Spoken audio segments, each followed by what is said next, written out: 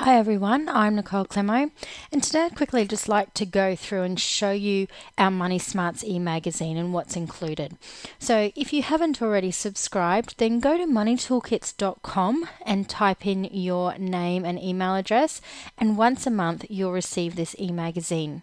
Now, this e magazine is full of lots of information.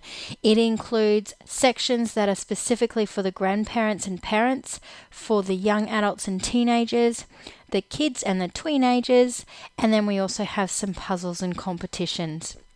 So, here is some general information that we go through for everybody to read, followed by um, one of our competitions called the Savvy Saving Tips. And this is where we encourage members to come in and give us their tip on how to save money. So in this month, it's actually talking about instead of buying flowers, why not buy a pot plant?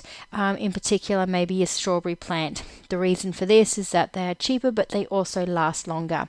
So that person has actually received a prize as being the Savvy Saving Tip winner for the month.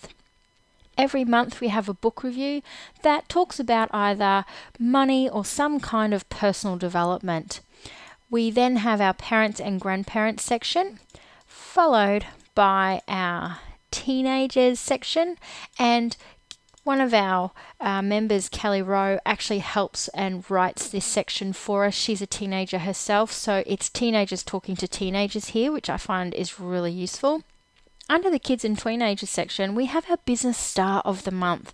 And this is really good where we encourage members to write in and tell us about their kids' business.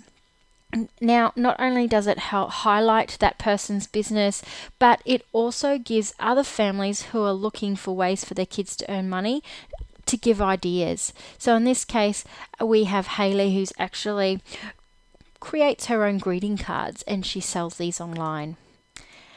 We also have colouring in and word searches and crosswords, followed by spot the differences.